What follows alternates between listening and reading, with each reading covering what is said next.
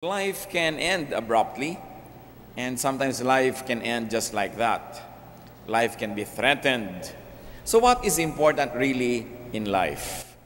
Sa bawat araw na ipinapahiram sa atin ng Panginoon, sa bawat sandali, ay uh, marapat lamang na ating uh, suriin ano ba talaga ang halaga ng buhay.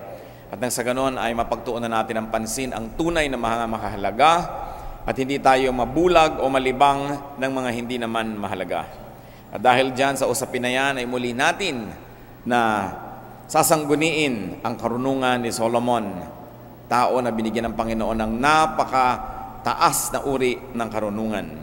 What is really meaningful in life? Pamagat ng ating pag-aaral, lalong-lalo na sa mga kabanata at sa mga salita na nasa Ecclesiastes o mga aral, mga katuruan ni Solomon. Ama, salamat po sapagkat kayo Diyos na dakila na nagbibigay sa amin ng buhay, nagpapahiram sa amin ng lakas at ng panahon. Kinikilala namin ang buhay ay isang handog mula sa iyo na dapat naming mahalin, pahalagahan, at dapat bigyan ng kahulugan. Turuan niyo po kami kung anong tunay na kahulugan ng buhay at nang sa ganon ay hindi kami magsayang ng panahon sa mga walang halaga. We like to learn from the wisdom you have given to Solomon and partake of the knowledge that he had, so that we may know the better things in life. Lead us, Father. Forgive us our sins, cleanse us, O God, from all our iniquities. Make us whole, enable us to see you, empower us to understand you, lead us to obey you. We commit this time to you, Father. May you be our speaker. Protect us from all evil men and evil spirits. Protect us from all work that may hinder your blessings to us And we thank you for every blessing, every protection, every care and provision that you give us. Habang kami ay nasa presensya ng iyong uh, makapangyarihang persona o Diyos, nawa pagpalain mo rin ang mga mahal namin sa buhay na hindi namin kasama ngayon. Kayo po ang aming maging kaaliwan, lakas, at kayo ang aming maging liwanag. Sa ngalan ng Panginoong Hesus, ito po ang aming dalangin, Ama, what is really meaningful in life. At tayo po yung magbabasa ng Ecclesiastes at napakahalaga na isipin ang mga bagay-bagay. Ecclesiastes chapter 2 verses 1 to 3. The words of the teacher, son of David, king in Jerusalem. Meaningless, meaningless, says the teacher, utterly meaningless. Everything is meaningless. What does man gain from all his labor at which he toils under the sun? So, this first chapter of Ecclesiastes and first few words give us an insight into the thesis, the theme that Solomon wanted to discuss in his whole book, comprised of 12 chapters. Napakarami daw mga bagay ang walang kabuluhan at hindi naman napapansin ng mga taong ito'y walang kabuluhan. People usually labor for big things. Pinagpapaguran natin, livelihood, our causes and wars and battles, projects, making a name, discovery, tasks, missions, malalaking mga bagay. And yet people also labor for small things. Sometimes rearranging furniture, arranging a cabinet, na matapos kang mapagod, maghapon ang ka-arrange, ganun din naman ang ending. Napagod ka lang, setting a table, etc. And uh, people really exert a lot of effort doing such things, but not always getting what they want. From such labors, people seek to gain success or profit, satisfaction especially, or pleasure. Kaya ang tao ay naghihirap, nagtsatsaga sapagkat may hinahabol siya at may hinahanap na bagay. Itutuloy po natin Ecclesiastes 1, this is chapter 1 we're reading, verses 4 to 11. Generations come and generations go, but the earth remains forever. The sun rises and the sun sets and hurries back to where it rises. The wind blows to the south and turns to the north. Round and round it goes, ever returning on its course. All streams flow into the sea, yet the sea is never full. To the place the streams come, from there they return again. All things are wearisome, more than one can say. The eye never has enough of seeing, nor the ear its fill of hearing. What has been will be again. What has been done will be done again. There is nothing new under the sun. Is there anything of which what can say, look, this is something new? It was here already, long ago. It was here before our time. There is no remembrance of men of old, and even those who are yet to come will not be remembered by those who follow. So ito po ang uh, obserbasyon ni Solomon. Dating at dating ang mga saling lahi, sikat ang araw, lulubog, ikot ng ikot ang hangin, north and south, daloy ng daloy ang ilog, hindi naman napupuno ang dagat, bumabalik din sa pinagmulan niya yung tubig, ikot ng ikot, sabi niya ang lahat ng bagay ay nakakapagod. Pero ang tao naman eh hindi kontento, hindi siya nasisiyahan sa kanyang mga nakikita, kulang pa. Hindi pa sapat ang mga naririnig niya, kulang pa rin. At kahit anong gawin ng tao, paulit-ulit lang ang lahat ng bagay. Sabi niya ganoon, wala naman talagang nababago. Wala namang bago. Kahit pa sabi mong bago ito, hindi rin. Dati na yan. Ngayon mo lang nalamang nandyan, kaya nagmumukha tuloy bago.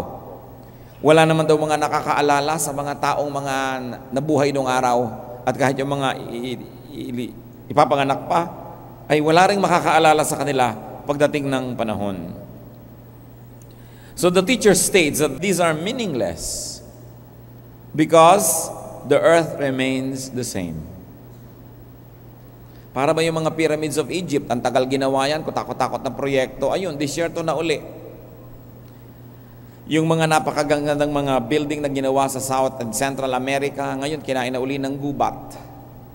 Minsan kahit anong mga projects, minsan may madidiscover ka, remains of an ancient civilization na dati mga cities, mga urban centers na wala na, nalimutan na, puro na lamang wilderness. Bumabalik din sa dati. At ano pa? Sabi niya, toil is tiring. Nakakapagod lang ang trabaho. Ang ending, ganun din. People are never satisfied. And nothing is really new. Even new discoveries and inventions are still based on old truths and old basics. May nare-rearrange lang kaya parang may na-invento pero lahat ng prinsipyo noon, physical, chemical, electrical, nandun na nung palang nilikha ang mundo. So wala naman talagang bago. At sabi niya, kayo nagpapagod na maging sikat, magkaroon ng pangalan, maging dakila. Even achievers won't really be remembered. Gano'ng karami sa atin halimbawa nakakatanda pa kay Rogelio de la Rosa. Natatandaan pa ba natin halimbawa kahit very recently, Charito Solis, konti na lang nakakatanda noon.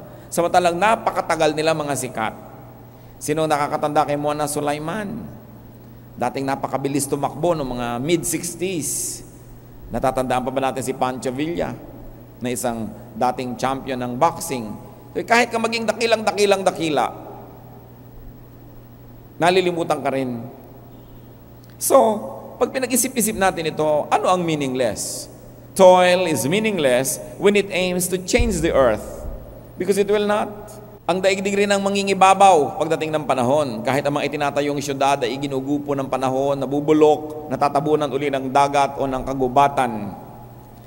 Toil is meaningless when it aims to defy time, to defy the seasons and life cycles. Kasi hindi ka magwawagi kahit ano pang gawin mo. Kaya tinitingnan nyo po yung mga ilog na pinipilit na pigilin ng tao, nilalagyan ng mga dam. Sandali lang yun dumadating ang mga bagyo, dumadating ang mga kalamidad na biglang nagigiba uli yung mga dam na yon at yung mga ilog uli ang nasusunod kung saan nila gusto magpunta at kung anong gusto nilang gawin sa buhay nila. Sabi, baliwala na pilitin mong labanan ang kalikasan, labanan ang nandyan at nakatakda. Toil is meaningless when it aims for completion or satisfaction because man will never be satisfied. Kung tayo nagpapagod ng nagpapagod ng nagpapagod dahil sa mo, ito ang magbibigay sa akin ng kasiyahan, sayang lang ang pagod mo dahil hindi ka rin masisiyahan. Sabi, the eye never has enough of seeing, nor the ear its fill of hearing. And toil is meaningless when it aims for immortality. Gusto mong maalala ka habang panahon? Di rin yan mangyayari. Konting-konti lang ang naaalala. Baka nga sa buong Pilipinas, yung naaalala nating mga mahigit isang daang taon na ang buhay nila, konting-konti lang, sino si Jose Rizal, si Andres Bonifacio, pero ang konti pa rin ang alam natin tungkol sa kanila. Gano'ng karami ang maaalala. So sabi, kung nagpapagod ka para ka lang maging sumikat, ay walang mangyayari. Pa, sayang lang yung pagod mo, huwag ka na magpagod. Kasi makakalimutan ka rin. Maaalala ka lang sandali. Mga artista nga ngayon, hindi ba kilala mo lang isang linggo o dalawang linggo dahil sa susunod na linggo may iba na namang artista. So, you're as good as your last performance. Hindi naman sa mga masama na magpasikat o pasikatin mo ang sarili mo, maging hanap buhay mo yan. Pero kung hinahanap mo talaga yung matagal na pagiging sikat, matagal na satisfaction, ay mabibigo ka lang. Sinasabi ni Solomon, it is meaningless. Kahit nga yung pagkabusog, kumain ka ng pagkarami-rami sa eat all you can, talagang mang sulitin mo ang lahat, pati tapon ng mga bote kainin mo. Ah, bukas, gutom ka na naman eh. Kahit anong gawin mo sa yung uh, kuko, ayos ka ng ayos, dalawa, tatlong araw lang, tungkab-tungkab na uli yan, uh, tabi-tabingin na naman yung daliri mo. Di ba? Tingnan niyo ang sarili kahit gaano kayo kaayos. Subukan niyo lang mga tatlong araw na walang kuryente. Mukha ka na naman bagong baba sa puno. High maintenance sa mga bagay na sabi ko, ang hinahanap ninyo, yan ako wala mangyayari. Yung gusto mo yung bata, laging malinis, dudumit, dudumi yan. Yung bahay mo, kahit anong gawin mo ayos, gugulot, gugulo yan. Sabi, huwag mong patayin ang sarili mo sa mga bagay na di naman talaga nagtatagal at walang katuturan. So mga kapatid, tayo po ang dapat mag-isip kung anong application nito sa ating buhay. Ano mga pinaggagawa natin na ginagawa natin para tayo maging bida, maging sikat, maging malakas, maging ganito? Hindi rin yun na magiging ending nun. Mabubura rin yun. Anong ginagawa natin para tayo masyahan? Pagod na pagod tayo para masyahan. Pero nasisiyahan ba talaga ang tao? Honey, mag-abroad ka naman kahit dalawa, tatlong taon lang para makabayad tayo ng utang. O nag-abroad. Nung nakabayad na ng utang, uy, meron palang ano dito, mahuhulugang lote. O di, mga limang taon ka na lang dyan, magkakalote na tayo. So syempre, pagkatapos ng lote, tatayuan mo ng bahay.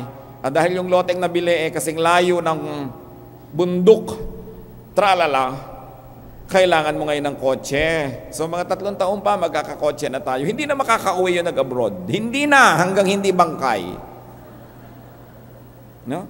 Tapos kahit gaano katagal yan nag-abroad, pag uwi, mga dalawa, tatlong uh, taon lang, wala na uli. Ubos na naman ang alahas ni Mrs. Wala na naman ang mga kono-ano. Liba na lang talaga mahusay. So wala't wala rin ang ending niya. Naghihiwalay pa yung mag-asawa. Tumatanda lang na magkalayo. Lumalaki lang mga bata na hindi nakakasama mga magulang. Ang point is, if you have to go abroad to really survive, you must set limits. Dahil hindi ka na masasatisfy kahit kailan. Pag sinabi natin, uy, nakasave na ako ng ganito kalaki, pero wow, pagka dalawang taon pa, ganito pa yung masasave natin, talagang hindi ka na makakawi. So don't do anything and don't work too hard to be satisfied. Because at the end of the day, you will never be satisfied anyway. Kung gusto makipagtalo, makipagtalo kayo kay Solomon, the wisest man that ever walked the face of the earth. Sabi niya, no, there is no satisfaction in life. Kaya mga tao, hindi ako satisfied. Welcome to the club. Akala mo ba may taong satisfied? Lagit lagi may kulang. Subukan yung kumain sa restaurant, kahit ang ganda-ganda ng in-order nyo, pagtingin nyo sa mesa ng iba, mukhang mas masarap ang in-order nila. Laging mukhang mas masarap yung pagkain sa kabilang mesa. No? Laging ganon. The sun shines brighter on the other side. So dapat tinitiyak natin, hindi natin yan ang hinahabol kasi yun ang hangin na hinahabol, hindi mo inaabutan kahit kailan. And Solomon also used his power as we can read in Ecclesiastes 1 12 to 15. I, the teacher, was king over Israel in Jerusalem. I devoted myself to study and to explore by wisdom all that is done under heaven. What a heavy burden God has laid on men. I have seen all the things that are done under the sun. All of them are meaningless, a chasing after the wind. What is twisted cannot be straightened. What is lacking cannot be counted. So here, using his power, and Solomon used his power very wisely by studying life. Dahil hari, may oras, may pera, pwedeng umupa ng mga tutor, ng mga consultant, mag-research, at malaya siyang gawin ang gagawin niya, yan ang marunong na tao. Ginamit ang karunungan para mag-aral. Ginamit ang kapangyarihan para mag-aral. Kasi kung meron kayong kapangyarihan, halimbawa, anong gagawin niyo mga kapatid? Kung meron kayong mga tig 50 million pesos, you don't have to work. What will you do? Will you still study? Yun ang ginawa ni Solomon. Nasa kanya na ang lahat, ginamit niya yung lahat-lahat ng yon para saliksikin ang kahulugan ng buhay. To study the dynamics and intricacies of life. And the teacher concluded, after much study, that God has laid a heavy burden on men and that all things done in life are meaningless. Sabi niya, napakabigat ng ipinataw na pasan ng Diyos sa tao. And why meaningless? Partly, as already we have stated, meaningless yung paghahanap ng satisfaction. Hindi nangyayari yon. Yung paghahanap ng immortality, ng fame, hindi yun talaga mangyayari at hindi mangyayari ng matagal. And meaningless because no great change can be accomplished anyway. Sabi nga sa Bible, can a leopard change its spots? Yan na yan. Papagurin mo lang ang sarili mong pilitin baguhin ng mga bagay, samantalang pwede mo nalang enjoyin. What is twisted cannot be straightened. What is lacking cannot be counted. And why is life a heavy burden from God? Probably because God made His Spirit, which is great, reside in flesh, which is weak. Kaya napakabigat ng kalagayan ng tao, sapagkat ang kanyang pagkalupa ay humihila sa kanya pababa sa lupa at ang Espiritong ibinigay sa kanya Diyos ay humihila sa kanya pataas, lagi siyang may pagdadalawang loob. Lagi siyang may pagtatalo ng isip at bihirang-bihira na totally pinaniniwalaan niya ang ginagawa niya. May ginagawa siyang mali pero hindi siya naniniwala doon, pero nag enjoy siyang gawin yon. Meron siyang gustong tama, hindi niya magawa. At iba ang nagagawa niya, laging nahahati ang loob. Because man will aspire for great things, but his earthly nature will limit him. So marahil ay sinasabi rin ni Solomon, kung gusto niyo maging talagang great, mabibigo lang kayo. Why don't you just be good? Napakaraming tao isinasangla ang kaluluwa sa impyerno, maging sikat lang, maging dakila, maging malaking tao, maging mayaman, maging makapangyarihan. And at the end of the day, nalulungkot din naman yung nasa palasyo. Nalulungkot din yung maraming pera. Nalulungkot din yung maraming pagkain. Sabi niya, huwag niyong pag-aksaya ng panahon yan. Papunta pa lang kayo, pauwi na ako. Meron pa bang yayaman kaysa sa akin? Sabi ni Solomon, mas magiging marunong kaysa sa akin? Mas magiging makapangyarihan kaysa sa akin? Ako na lahat yan. So makinig na lang kayo sa akin. Papunta pa lang kayo, pauwi na ako. Walang kwenta ang mga pinagsisikapan nyo.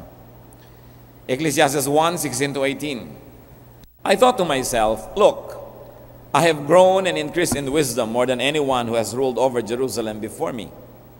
I have experienced much of wisdom and knowledge. Then I applied myself to the understanding of wisdom and also of madness and folly. But I learned that this too is a chasing after the wind. For with much wisdom comes much sorrow. The more knowledge, the more grief.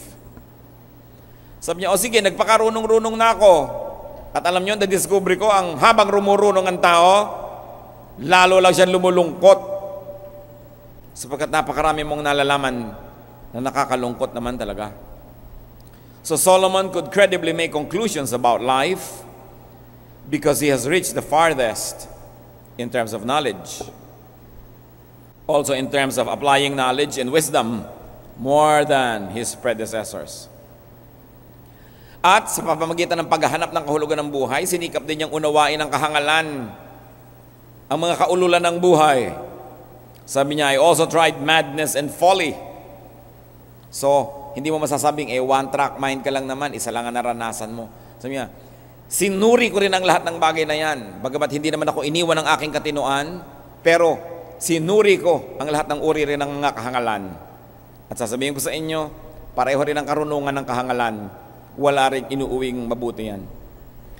From such enterprises, Solomon learned that it was also meaningless. It was also burdensome because wisdom brings sorrow. The more knowledge, the more grief. Kita nyo, yung wala kayong kamalay-malay sa ginagawa ng asawa nyo, masaya kayo. Nung umpisa nung nalaman nyo mga pinaggagawang himala, lulungkot na kayo. Kaya sabi, better by far you should forget and smile than that you should remember and be sad. Nakakalungkot lang yan, binubulat-lat mo lahat ang bulsa, tinitingnan mo lahat ang resibo, lungkot ang hinahanap mo niyan. Bihirang-bihirang sasaya ang nakita mo dahil nakita mong nakasulat ang mga initial mo doon sa papel. Nako, kung ano-anong makikita mong mga lihim-lihim. Bakit ka nagbubuklat ng mga mababantot ang mabubuklat mo? Sabi ni Solomon, with much wisdom comes much sorrow. So do not try to know so much if you want to be happy. Subukan ninyo na meron kayong mga secret speaker sa lahat ng kwarto ng bahay nyo at nalalaman nyo sinasabi ng mga katulong nyo tungkol sa inyo, lulungkot kayo. Amo kayo sa kumpanya, nalalaman nyo sinasabi ng lahat ng empleyado nyo tungkol sa inyo, magpapakamatay kayo sa mga maririnig nyo. So bakit nyo gugustuhin malaman? So aalamin mo lang yung talagang directly makakatulong sa decision making mo. But do not try to know what people tell about you, what they say about you, what they think of you, dahil mas marami ang ikalulungkot kaysa ikasisiya. Ecclesiastes 2 verses 1 to 8. I thought in my heart, come now, I will test you with pleasure to find out what is good. But that also proved to be meaningless. Laughter, I said, is foolish. And what does pleasure accomplish? I tried cheering myself with wine and embracing folly, my mind still guiding me with wisdom. I wanted to see what was worthwhile for men to do under heaven during the few days of their lives. Sa inyo maiksi ang buhay, gusto kong malaman kung ano ba talagang dapat nagagawa bago ka mamatay. So sinubukan ko rin ang mga kahangalan, ang mga kalokohan sa buhay. Pero hindi ako lubos na nagpakahakal, sabi niya. My mind was still guiding me. Ina- inaalam ko lang yan para malaman ko. Pero hindi ako talaga nagpakahangal-hangal. Sabi niya, wala rin katuturan. Iniba ko naman ang style ko. Verse 4, I undertook great projects. I built houses for myself and planted vineyards. I made gardens and parks and planted all kinds of fruit trees in them. I made reservoirs to water groves of flourishing trees. I bought male and female slaves and had other slaves who were born in my house. I also owned more herds and flocks than anyone in Jerusalem before me. I amassed silver and gold for myself and the treasure of kings and provinces. I acquired men and women singers and a harem as well, the delights of the heart of man. So niya, ginawa ko na lahat yan. I've seen them all, I've done them all. Sinubukan ko rin mga alak, sinubukan ko kasiyahan, sinubukan ko. To understand life, Solomon also tried pleasure, laughter, wine. He tried folly. He also did great projects, construction, agriculture, beautification, acquisition, the arts, music, musicians, lahat ng pwedeng hilingin sa buhay. Ecclesiastes 2, 9 to 11, anong nangyari sa kanya? I became greater by far than anyone in Jerusalem before me. In all this, wisdom stayed with me. I denied myself nothing my eyes desired. I refused my heart no pleasure. My heart took delight in all my work, and this was the reward for all my labor. Yet, when I surveyed all that my hands had done and what I had toiled to achieve, everything was meaningless. At chasing after the wind, nothing was gained under the sun. Sa so, tambak-tambak na mga ginto, mga pilak, inipon ko. Talaga namang legendary ang kayamanan ni Solomon kahit sa history. Hindi lang sa Bible, kahit sa secular history. Napakaraming kumukonsulta sa kanya. Napakarami niyang mga kayamanan. Lahat-lahat. At napakarami niyang asawa. Libo-libo. Sabi niya, lahat yan, ako, sinasabi ko sa inyo, papunta pa lang talaga kayo, pauwi na ako, at kahit anong gawin niyo, hindi niyo mararating ang narating ko. Sabi niya. Solomon went to the max in his quest, in his search. And he concluded that nothing changed in the world. Nothing changed inside of him. Everything was meaningless. Naalaman niya na kahit nag-agriculture siya, yung halaman na kinuha niya doon sa kabila, itinanim lang niya dito, wala naman talaga nadagdag na halaman sa planeta. Nagpagawa siya ng mga kanal, ng mga ipunan ng tubig, at nadalaw ko ang mga ibang ipunan ng tubig niyang si Solomon, ha, sa outside of Jerusalem. Ang lalaking mga parang pool, ipunan niya ng tubig para kahit summer, meron siyang pandilig. Pero sabi niya, wala naman ako naidagdag ni isang patak na tubig dito sa planeta. Inilipat ko lang, wala doon sa kabila, inilagay ko lang dito. At kung kayo mahilig mag-acquire, mga kapatid, ganun yun. Ang hiling nyo sa halaman, binili nyo lang doon sa Bulacan Garden, inilipat nyo sa bahay nyo, nagkagastos pa kayo, wala naman talaga nadagdag na halaman sa planeta. Natuyo pa yung nagpunta sa inyo. Ang dami-dami yung mga ginto, nakuha nyo mula sa tindahan, napunta sa inyong cabinet, pero wala namang nadagdag na ginto sa planeta dahil yung tindahan, kinuha lang niya yun sa mga naggumawa nun, yung gumawa nun, kinuha lang yun sa mina. Wala naman talaga nadagdag, kapalipat-lipat lang. So mahilig kang magkolekta ng antik, ng aparador, ng mga elepante, kampana. Wala naman talaga nadadagdag dito sa buhay. Kaya sabi niya, there is nothing changed. Nothing changed in the world. So don't call it an accomplishment. Gumawa ka ng building pero kinuha mo lang yung mga bato-bato doon sa quarry, lumipat lang yung bato, lumipat lang yung semento, lumipat lang yung bakal, nagpunta lang doon. Wala, wala ka naman talagang naidagdag. Sabi niya, kaya don't think of yourself as great. Sabi niya, I'm getting desperate. Ano pa kaya ang magpapasaya sa akin? So Ecclesiastes 2, 12 to 16. Then I turned my thoughts to consider wisdom and also madness and folly. What more can the king's successor do than what has already been done. I saw that wisdom is better than folly, just as light is better than darkness. The wise man has eyes in his head, while the fool walks in the darkness. But I came to realize that the same fate overtakes them both. Then I thought in my heart, the fate of the fool will overtake me also. What then do I gain by being wise? I said in my heart. This too is meaningless. For the wise man, like the fool, will not be long remembered. In days to come, both will be forgotten. Like the fool, the wise man too must die. Sa niyan mo, talagang pinakaiba ng marunong at mangmang, pareho rin niyang mamamatay. Kumisa nga, mas mahaba pa yung buhay ng mangmang. So he further concluded that while it is better to be wise than foolish, wisdom is also meaningless, as both the wise and the foolish will die.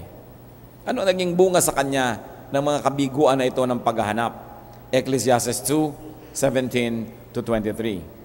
So, I hated life. Because the work that is done under the sun was grievous to me. All of it is meaningless a chasing after the wind. I hated all the things I had toiled for under the sun because I must leave them to the one who comes after me.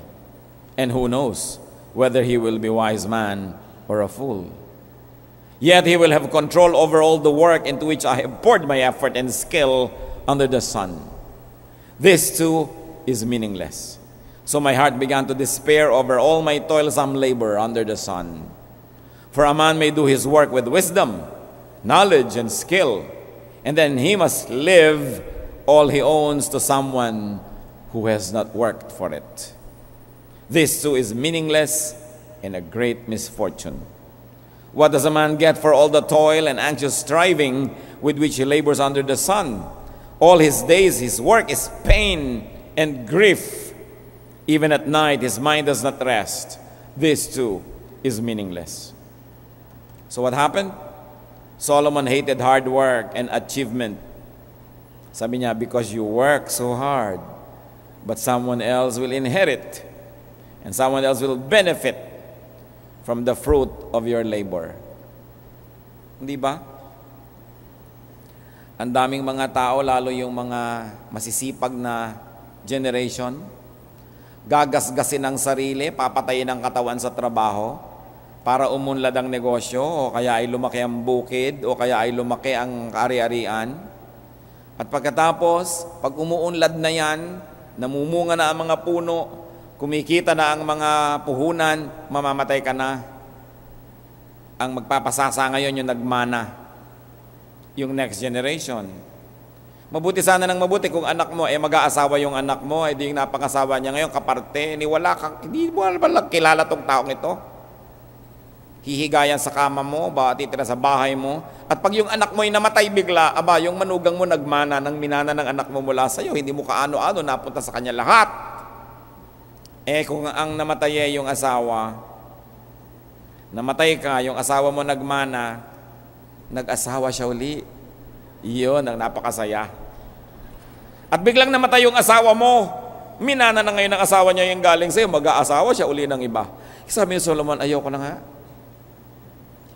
gagasgasin mo ang buhay mo, titipirin mo ang sarili mo, tipid ka ng tipid, tiis ka ng tiis para lang lumaki ng lumaki ang iniipon mo. Para kanino? Para sa iba, sabi niya isang malaking kahangalan. So Solomon hated hard work because somebody else will benefit from it. Someone who did not work for it, and probably that someone will be foolish. Probably somebody you don't even know. Magsisikap kang mabuti, palalakihin mong negosyo, halos hindi ka kumain ng masarap, halos hindi ka magbihis ng maganda, mapapalaki mong negosyo, ang mga anak mo ngayon lalaki na maluwag ang buhay, may pagmamahal sa iyo, kaya may malasakit pa sa ipinundar mo. Pero ang mga anak mo yung magkakaanak, yung mga apo mong di ka nakilala, picture na lang, ibebenta nila lahat yan. One generation puts it up, the second generation enjoys it, the third generation sells it. So hindi sinasabi ni Solomon na walang kahulugan na magpundar. Ang sinasabi niya, lugi ka kung puro pagpupundar at pagpupunyagi ang ginagawa mo, tas iba lang ang makikinabang. Dapat ilagay mo yan sa lugar. Kumikita ka, enjoyin mo. Huwag yung puro tipid ka, puro katipid. Bakit? Para lumaki ang ipapamana mo. Para lumaki ipapamana mo sa mapapangasawa ng asawa mo pag namatay ka na. Ikaw naman babae, ayaw mong gamitin ang magagandang plato, ayaw mong gamitin ang magandang kitchen, andong ka sa dirty kitchen, ayaw mong gamitin ang magandang komedor, para pag namatay ka at nag-asawa uli ang asawa mo, siyang gumamit. Sabi ni Solomon, magpakatino kayo. Kasi hindi kayo mabubuhay forever. Sa maiksing buhay na ipinapahirap sa inyo ng Diyos, gawin nyo lang ang tama, huwag ang sobra. Para meron pa kayong panahon na ma-enjoy yung bunga ng inyong mga pinaghirapan. Ecclesiastes 2, 24 to 26. A man can do nothing better than to eat and drink and find satisfaction in his work. For the first time, nakakita tayo ng tama na pwedeng gawin. A man can do nothing better than to eat and drink and find satisfaction in his work. This too I see is from the hand of God. At least hindi niya tinawag na meaningless. For without him, who can eat or find enjoyment? To the man who pleases him, God gives wisdom, knowledge, and happiness. But to the sinner, he gives a task of gathering and storing up wealth to hand it over to the one who pleases God. This too is meaningless, a chasing after the wind. So, in view of the above, the only meaningful enterprise a man can engage in is to eat, to drink, and to work. And remember this to enjoy your work. And to enjoy the fruit of your work, which is what you eat and drink. So maraming posibleng reading ito mga kapatid. Isa, work in order and only to be able to eat and drink.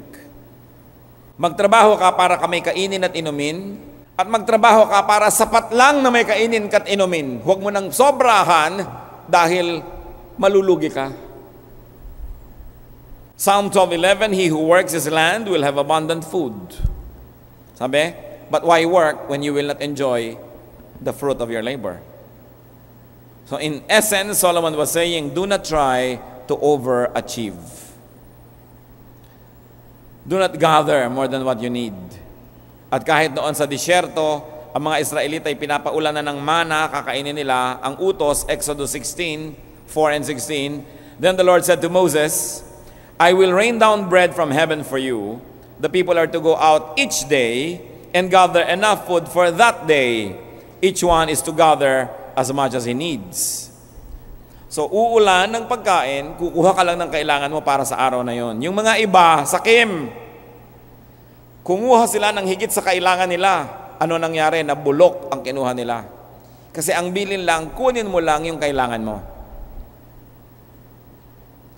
Pati ang Panginoong Jesus, anong sabi niya? Ganito ang dasal nyo.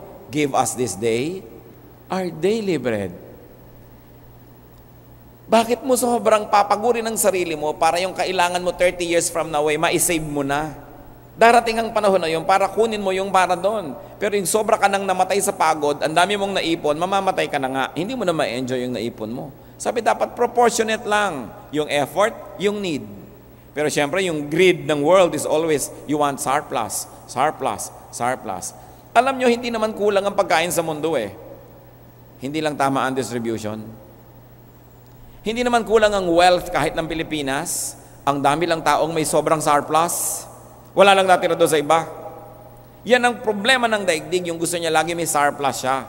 Kung ang kukunin mo lang yung kakainin mo ngayon, may makakain yung iba. Kung sa mga kumpanya, ikaw yung namumuhunan, ikaw may-ari o ikaw yung malaki ang sweldong manager, kung ang kukuhanin mo lang sweldo, yung talagang kailangan ng family nyo ngayong buwan na to, may matitira doon sa iba para kumita rin sila ng malaki-laki. Kaya nahihirapan ng tao kasi nag-aagawan. Hindi pinapakinggan ang inuutos. Kunin mo lang ang kailangan mo. Yung hindi mo kailangan, iwan mo dyan. May, merong may kailangan yan. Sapagkat bukas, sabi ni Lord, tomorrow will worry about itself. Nandun pa rin ang Diyos bukas. So do not try to overachieve so you will have time to enjoy life. Nakita niyo yung mga bata na lagi ang nanay gustong-gustong first honor yung anak niya para akyat siya na akyat na entablado? Hindi naman masama kung likas sa bata na napakatalino. Pero ibang pinipilit, they never become children anymore. They never enjoy their childhood. They are robbed of their childhood because the parents want them to overachieve. Kaya merong naging bata, naging teenager, pero hindi naranasan yon kasi laging achievement, achievement, achievement. Apa-aparador ang mga medalya, ang mga tropeo, pero walang muang sa buhay. And they were not able to enjoy childhood, and they weren't able to enjoy their youth. So do only what must be done so you do not have to worry about leaving your wealth to undeserving people. Because the first problem is how to have wealth. And the second problem is kung kanino yan ibibigay. Alam nyo ang tao, pag above 50, above 60 na, liban na lang talagang napakasakim, naghahanap na yan ng pamamanahan. So alam niyo na kung paano kayo papapel sa mga tiya-tiyan nyo, mga ganyan-ganyan. Naghahanap na yan, kanino ko kaya ipapamana ang mga koleksyon ko ng mga pustiso. Yan. Eh, lagi kang nandyan, sa'yo mabibigay yan. Kasi yun talaga ang susunod eh. Pag pinahalagahan niya yon, kanina naman niya ibibigay ngayon eh, mamamatay na siya. Kasi wala na yung halaga pag may mga rayu-rayuma ka na, lumalabo na ang iyong mata. Wala nang halaga yung mga kampana, mga elepante, mga kung ano-anong inipon mong mga palayok. Wala nang halaga yan. So, ang tanong, ba't mo ngayon inubos yung youth mo na kaiipon yan? Kasi walang nagsabi sa'yo, kasi hindi mo binasa si Solomon. Sabi sa 1 Timothy 6.9, People who want to get rich fall into temptation and a trap and into many foolish and harmful desires that plunge men into ruin and destruction. Huwag yung ambisyoning maging mayaman. Ang ambisyon ninyo to enjoy the day. To work for it and enjoy its fruit. And the following day you work and enjoy its fruit. At pag natiningnan mo, nagkadugtong-dugtong na pala ang haba na ng panahon, enjoy ka. Hindi yung wala kang ginawa kundi mang, mang lamang sa kapwa para marami kang maiuwi, magdamot sa kapwa para hindi mabawasan yung nakasalansan mo, magkaila, magkunwaring walang-wala ka para hindi ka mautangan, tapos bigla ka rin namatay. Wala rin. So ang mahalaga, enjoy food and drink. Napakabait ng Diyos, ano?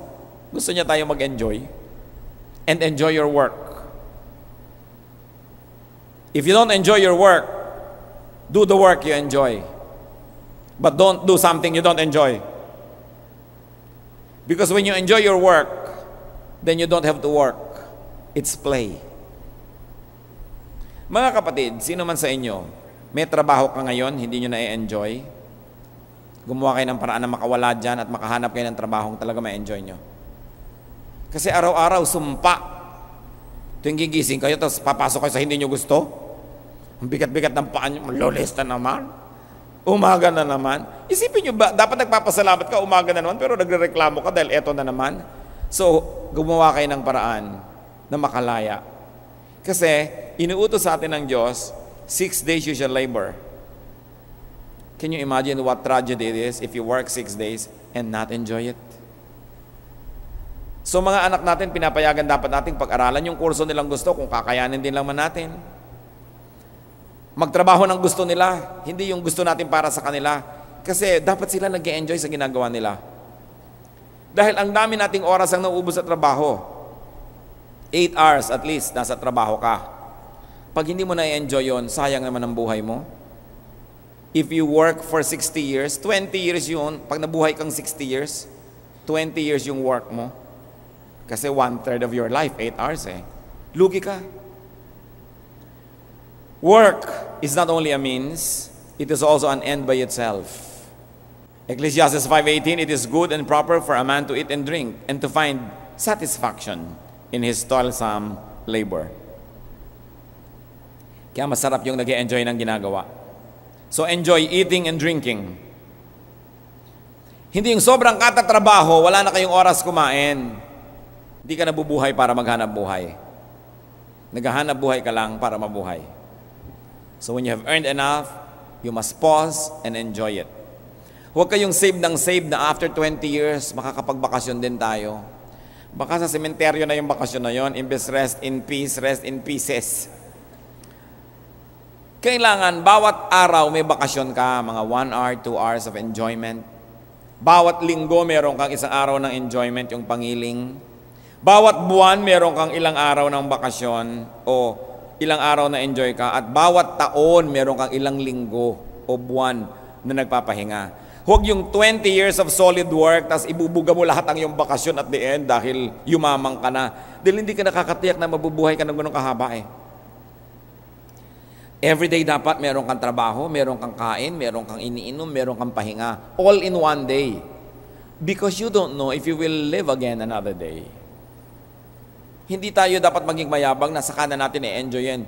Ta parang tinitiyak natin mabubuhay nga tayo.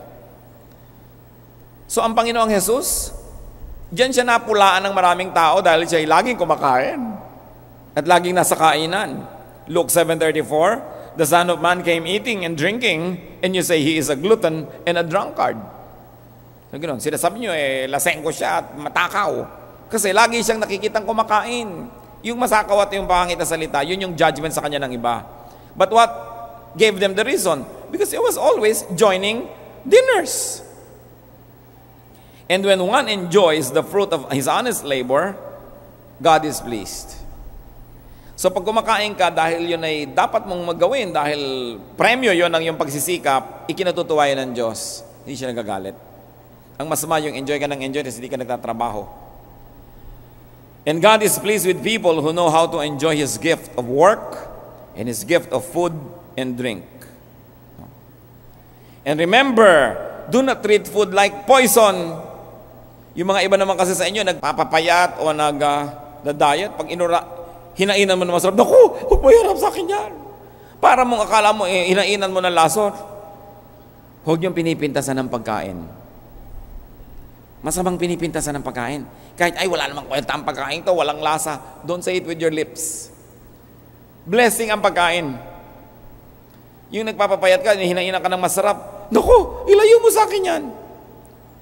Baka nga lumayo sa inyo pagkain forever, kayong habol lang habol, pagkain, pagkain, nasan ka na? Huwag maarte. Ipagpasalamat ang pagkain dahil yan ay gift ng Diyos, although ilagay sa lugar. Look, God's first assignment to man was work. Diba? Si Adan at si Eva, ano una sinabi niya? O, alagaan niyo yung garden na yan. Work. At ang unang privilege na ibinigay ng Diyos sa tao, food. The first privilege given to man was food. Sabi niya, o ito lahat, kainin niyo. So mahalaga sa Diyos yung work at food. Yun ang kauna-unahang inilagay niya na ginagawa ng tao, magtatrabaho at kakain. So yung pamilya, dapat may oras kayong kumakain, magkakasama, nagkukwentuhan, masaya. Hindi yung lagi nilang nag-aapura. No? Binibigyan natin ng panahon, kumakain tayo kasabay ng ating mga kaibigan, nakikipagkape ka o nakikipagtsa, kasabay ng yung mga kakilala. Put it in your schedule. No? Kasi yun ang pagpapasabi mo sa Diyos na, Lord, nagpapasalamat ako sa binigay niyo sa akin na pagkain, gana, at freedom. While I am enjoying this, I am worshiping you because I am doing this to praise you and to thank you because you're so nice and you're so good. So dapat nating alalahanin. Mahaba pa po ang Ecclesiastes. Nakakadalawang chapter pa lang tayo. But so far, we can make a few tentative conclusions. What is meaningful in life? First of all, let's start with what is not. What is not meaningful in life, greatness is not meaningful. Grand projects, not meaningful. Monumental accomplishments, not meaningful. But simple and honest work that brings manageable and personal pleasures, they are meaningful. At nakita niyo kabaitan ng Diyos. na ang tunay na meaningful, maliliit na bagay para lahat ng tao, tulad mo, tulad ko, affordable sa atin yon. Hindi naman tayo lahat makakagawa ng monumento. Hindi tayo lahat mananalo ng mga acting awards. So hindi yun ang ginawang meaningful. Kundi uupo ka, kakain ka, nag enjoy ka. Yun. Sabi niya, that is life. No? So yung kayong mag-asawa, nakaupo sa balde, kumukuya-kuyakoy, umiinom ng 3-in-1 coffee, natatawa kayo, that is life. Huwag na kayo mag-isipan na nandun pa kayo sa kung mga 5-star na mga mahal, kung hindi nyo naman afford. Ang mahalaga, Ganon din yun ang kape. Yung, yung limandaang pisong kape at saka yung 3-in-1, kape din yun. No? Pareho lang yun. So, bihisan mo lang yung tasa mo, lagyan mo ng konting ganito, huwag mo namang iniinom sa latang bulok. Kahit dilis ang kinakain mo o mga kung ano-ano, kortehan mo naman ng konti ang kamatis, artihan mo para masaya. Celebrate life. No? May konti kang kama pero laging bagong almirol o ang bango-bango ng yung uh, pangtakip pa dyan, kahit dalawa lang yun na palit ng palit, you enjoy it. Salamat sa Diyos. At salamat sinasabi ni Solomon, ang tunay na mahalaga ay kaya natin lahat ma-afford. To eat, to drink, to have fun, to live, to work. That is what is meaningful. Huwag kayong mag-iinggit doon sa mga malalaki masyado ang mga accomplishment. I like to end with one a little story. Um, I had a friend who was who has always been wealthy, yung mga friend nila, ang mga family nila, may minana pa, mga negosyante, mayayaman. And then, uh, when I was going to Saudi Arabia in 1984, I did not know why I wanted to go. I, I had a good thing to do. My life was all right. But I, I wanted to go. So pinipigil ako ng mga kaibigan ko. Then, minsan, isang despedida, Kinausap ako ng isa, sabi, bakit ka ba alis? Is it about money? Sabi ko, bakit? If it's money, ano ngayon? Sabi niya, nagkausap-usap kami eh, ng mga friends natin that if it's about money, whatever you will get there will give you times four. Just stay here in Manila because we like you here. After all, you do things for our companies, consultant ka naman namin, so we'll give you times four. I was so flattered. I said, wow, my friends are out buying me. No? I mean, they're outbidding my Arab friends. But sabi ko, salamat, but it's really not money. But thank you. But I really have to go. At alam nyo, the rest is history. Doon na born ang day by day. Bible study, Bible study, Bible study na naging day by day, na naging ganyan-ganyan. Kaya pala ako nagpunta doon sa Saudi Arabia na yon. Nung umuwi ako dito, Five years later, sapagkat yung five years na yun na nandun ako sa Saudi Arabia, hindi kami nagkita. Uuwi ako rito, magbabakasyon, nasa Amerika siya, yung ganon, hindi kami nagkikita. So noong nagkita kami, mga probably within the first five nights that I arrived, we had dinner. Sabi niya, alam mo, mula nung umalis ka, I am, sinabi niya yung number, halimbawa, X number of millions richer. Diba sinabi niya, I am now 10 times richer than when you left. Sabi niya gano'n, ganito nangyari sa amin, ganito, gano'n, gano'n. Eh ikaw, ano napundar mo? Sabi sa akin. Sabi ko, church lang naman, may reklamo. No? Dahil nagkaroon ng day by day system. But that was the thing. The thing was, sabi ko, okay, so dumami kayamanan mo sobra. Eh alam ko yung bahay nila, alam ko yung buhay nila. Sabi ko, pinalakihan na ba ni mamang ang kama mo? No? Kasi sa bahay ng mamang niya, yung kama niya, ang ganda-ganda. Anting sabi niya, hindi, yun ang, ang pinakamalaking available. O di the same kama. Niya, oh. Dinagdagan mo na ba ang kotse mo? Sabi niya, hindi, dalawa kasya na, tsaka may company cars pa kami. Hindi ko naman pwedeng gamitin sabay-sabay kahit marami. Okay. Eh, lumaki na ba ang kinakain mong steak ngayon? Hindi, binawasan ko pa nga dahil alam mo na, tumatanda na tayo. Sabi niya ganon. Eh, anong nadagdag sa buhay mo? Ang kinakain mo palang kanil, lumiit pa.